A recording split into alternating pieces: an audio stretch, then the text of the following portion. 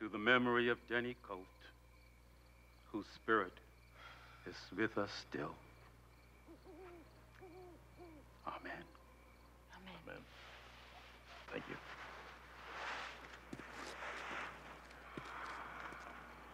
Pretty poor turnout. Hmm. Well, you know, all of his friends on the force, they held a service up in Oregon. I mean, without a body, I guess they figured that's all they could do. Some friends.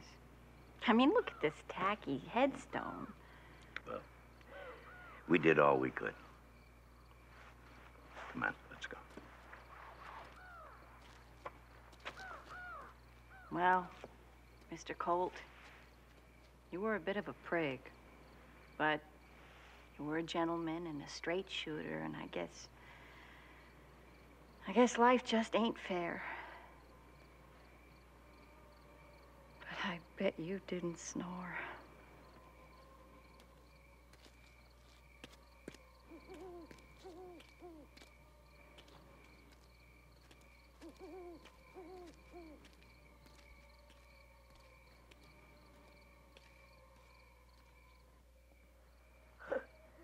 You know, I think she's got the hots for you. Too bad you're dead. Okay. So dead men don't have much of a social life.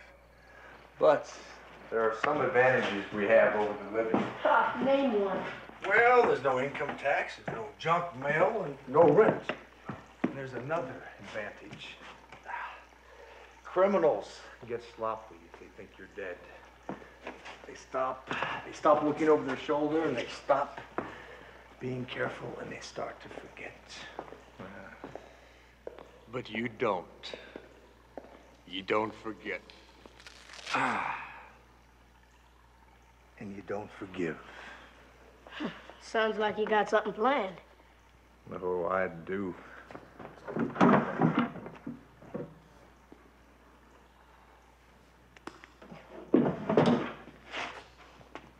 Well, what do you think?